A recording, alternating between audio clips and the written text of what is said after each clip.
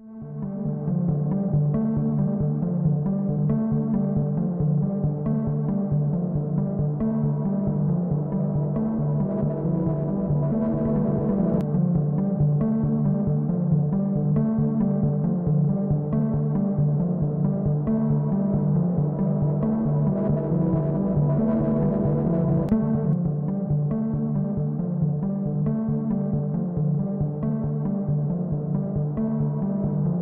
28 ноября. 9.22 Atlas М25 на внутренней мощности. 10 готово. Переключи космический корабль на внутреннюю мощность. 5. Все готово к запуску. Мы считаем запуск двигателя зажиганием.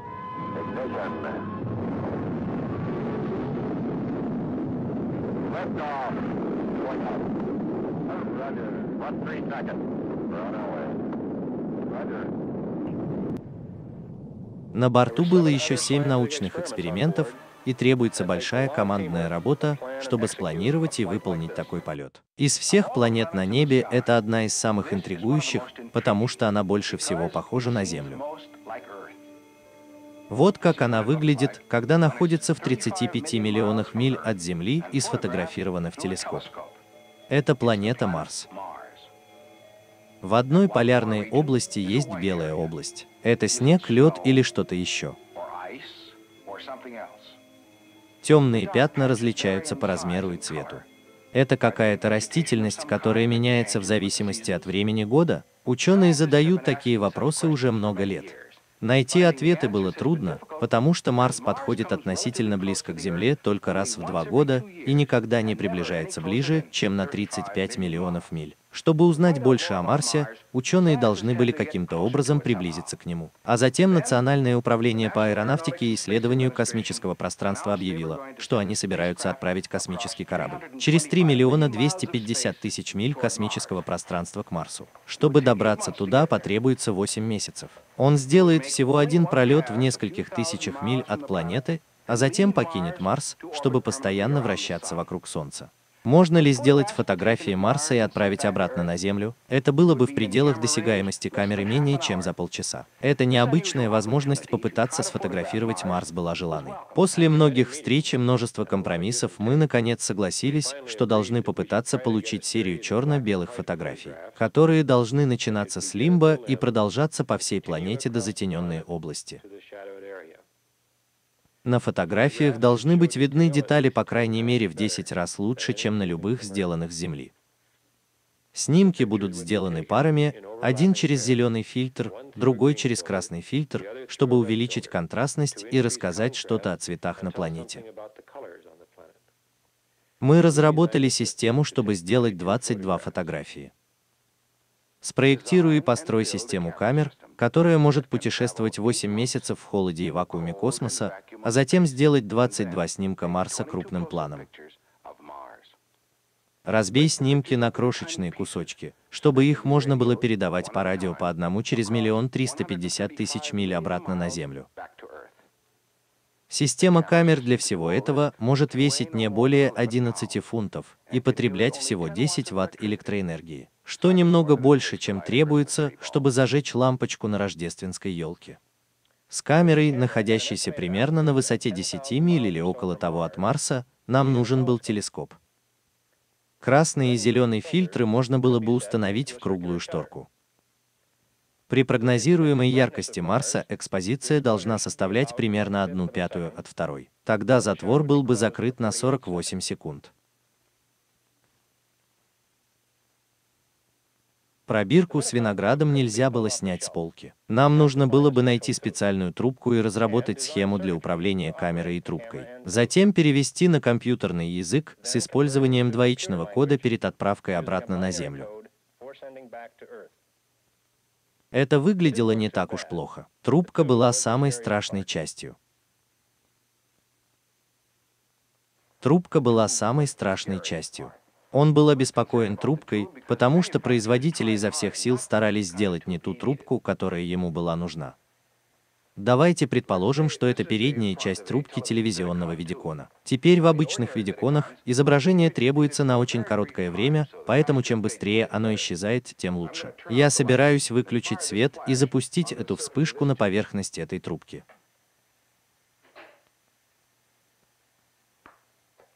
Изображение моей руки сохраняется на поверхности. Динтону Эллин нужна была трубка Витикон, которая могла бы удерживать изображение в течение длительного времени, пока информация о картинке на ней сканировалась и изменялась на код. Он нашел то, что, по его мнению, было трубкой, которая могла бы выполнять эту работу, и начал планировать систему камер вокруг нее. Проектирование различных узлов началось в соответствии с графиком, который установлен на 8 июня. Через 8 месяцев у нас будет макет этой системы камер с функцией замедленного сканирования, которая будет работать. Так, мальчик, запомни эту дату и приступай к ней. Потому что если она не будет достигнута к следующему свиданию там внизу, ты в очень плохой форме. У тебя там должна быть куча усилителей. И ты чертовски хорошо знаешь, что для управления этой лампой у тебя должна быть схема отклонения. Это означает, что разрабатывается системой индивидуальные схемы, которые могут выдерживать суровые условия космической среды.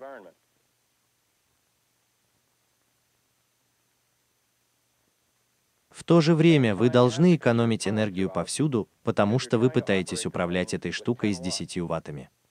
Система также преобразует элементы изображения в двоичный код, который будет отправлен по радио обратно на Землю. Конечно, нам пришлось смоделировать эту часть на Земле, затем снова преобразовать двоичный код обратно в элементы изображения. И, надеюсь, воспроизвести ту же картинку, с которой мы начали. Вот изображение обычного объекта. Ты не можешь его узнать, потому что все, что ты можешь видеть, это некоторые точки, из которых состоит картинка. Система камеры была разработана для создания изображения с точками, подобными этим, 200 выровненных таким образом и 200 выровненных таким образом. Когда ты видишь больше точек, они становятся изображением теннисного мяча. Фотографии Марса тоже будут состоять из точек, их 40. Каждая из точек на снимке должна быть оценена камерой в терминах оттенков серого, представленных цифрами. Черный на одном конце со значением 63 и белый на другом со значением 0. Допустим, последовательность точек подряд на картинке имеет эти значения.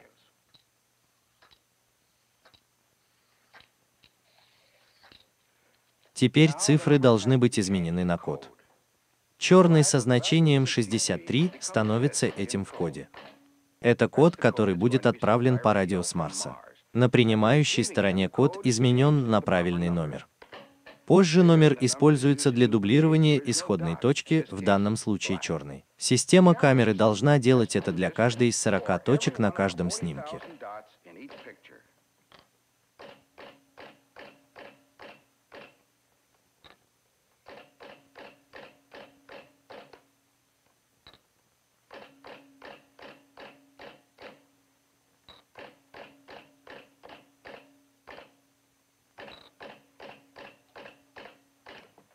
С этими цифрами 40 различных точек могут быть продублированы.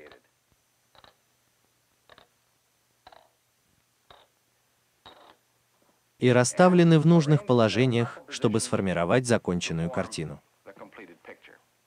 8 июня команда Дентона Аллена должна была иметь первую экспериментальную модель всей системы камер, макетную версию, готовую к созданию изображения таким образом. К этому времени мы проверили лучшие трубки для медленного сканирования, которые у нас были. Времени оставалось довольно мало. Но у каждого инженера все еще было много деталей, о которых нужно было беспокоиться в последнюю минуту. Его узел должен был быть готов к работе в системе.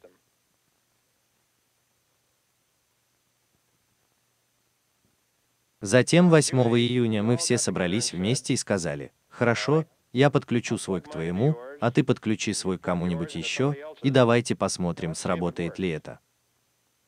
Итак, мы поставили Витикон, нацелили его на тестовый образец. У нас должна была быть картинка. И примерно через полчаса настройки. Почему? Эти различные узлы собрались вместе и в первый раз сгенерировали медленное сканирование, полностью закодированные и декодированные изображения.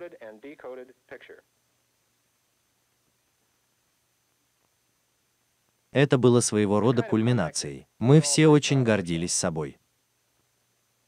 Было много поздравлений. Выпьем за команду и все такое прочее. Это придало нам настоящий импульс.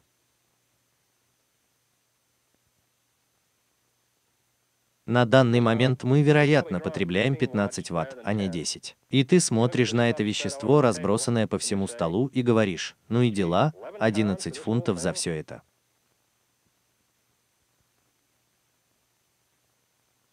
Следующая работа большая. Мы должны сделать это немного здесь и немного там. Совершенствуя это по частям, мы обнаружили, что можем избавиться от некоторых из этих схем без ущерба для производительности.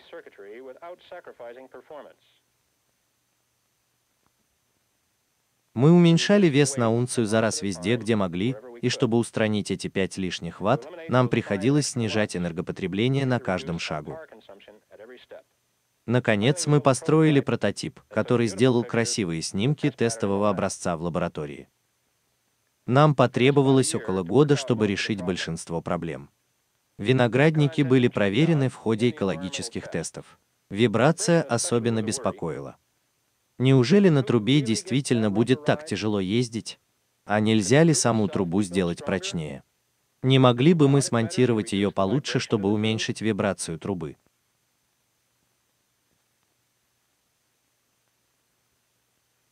Однажды один из парней посмотрел на ТО, во что была упакована трубка. Она прибыла по почте из Техаса, завернутая в эту дрянь. Может быть, она могла бы попасть на Марс. Так что за выходные он сделал конструкцию для поддержки трубки, используя этот пеноматериал.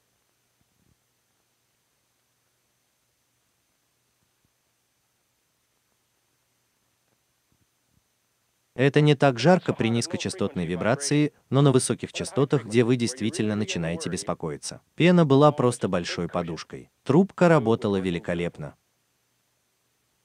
Все, что мы могли сделать, это надеяться, что это был действительный тест на вибрацию, которую получит трубка во время взлета. Потому что к этому времени мы больше не могли вносить никаких изменений в конструкцию. Ты связан с таким количеством других систем, что можешь повлиять на них все.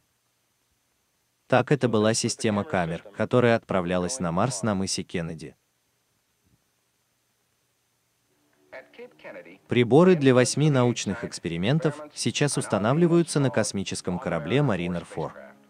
На сканирующей платформе есть система камер. Ты можешь видеть телескоп за ней. Внутри находится затвор и липкая трубка Витикон, которая доставила им столько хлопот. Даже сейчас они не короткие, выдержат вибрацию во время взлета. В системе камеры есть только одно механическое устройство – затвор. Когда ток проходит через этот соленоид, он поворачивает затвор. Экспозиция составляет одну пятую от второй через красный фильтр.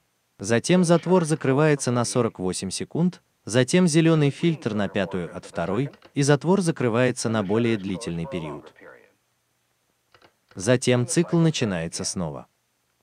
Они провели испытание этого затвора в вакуумной камере и обнаружили, что существует ограничение на количество оборотов. Было решено заменить затвор в камере и ограничить его тысячи экспозициями во время полета.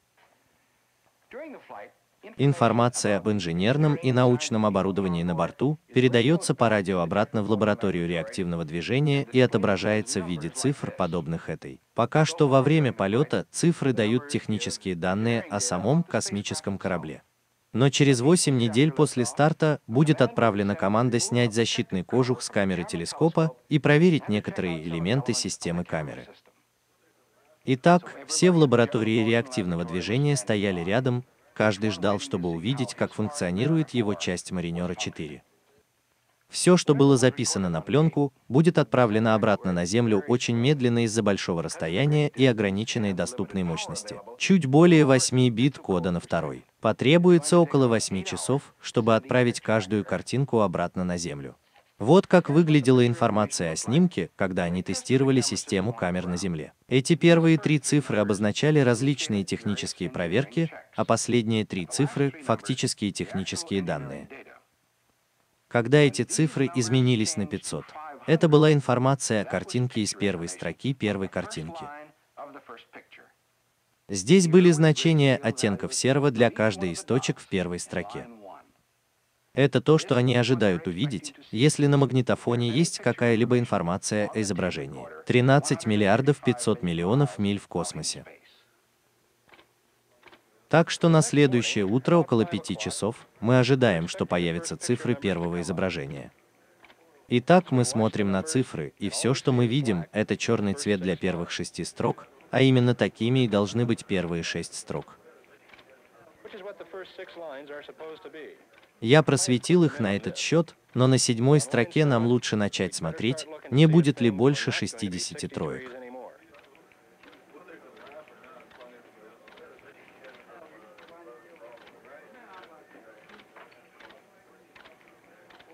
И, конечно же, эти цифры вышли.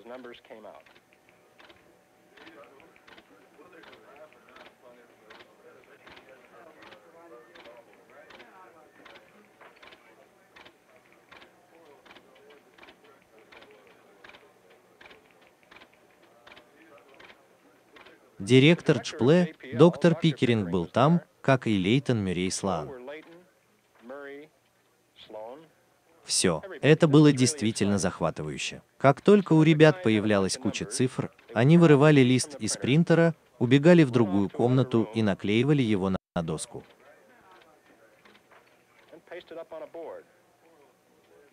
Тогда у них были ребята, которые рисовали эти цифры цветным мелом. Это действительно должно было стать чем-то большим. Люди из Джпле пронюхали об этом. Просто сотни людей пришли посмотреть на этот первый снимок Марса. Маринер 4 успешно провел научное исследование Марса. Он отправил обратно примерно 18 миллионов научных измерений, информацию о межпланетном магнитном поле, космической пыли, солнечном ветре и вспышках и других явлениях глубокого космоса. И он сделал 22 снимка Марса.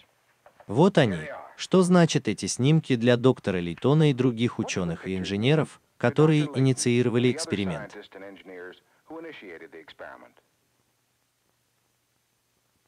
Даже этот ограниченный обзор Марса, который у нас есть, все еще может дать нам что-то определенное, связанное с Землей и Луной. Потому что самая важная информация на снимках Марса исходит от кратеров, которых кажется много.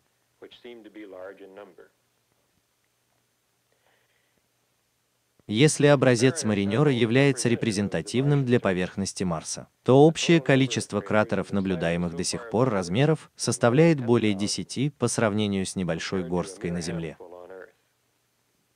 В кратерах есть много тонких особенностей, для детального изучения которых потребуется некоторое время.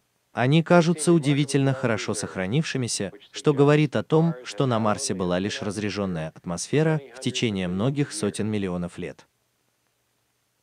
Если марсианская поверхность действительно примитивна, она может оказаться лучшим, если не единственным местом в Солнечной системе, все еще сохраняющим ключи к ее первоначальному развитию. Мы верим, что фотографии маринера окажут глубокое влияние на научные взгляды о происхождении и эволюции планетных тел в Солнечной системе. Фотографии Марса теперь доступны ученым по всему миру. Они достигли поразительных результатов, изучая фотографии, которые покрывают всего 1% поверхности Марса. Остальные 99% остаются загадкой.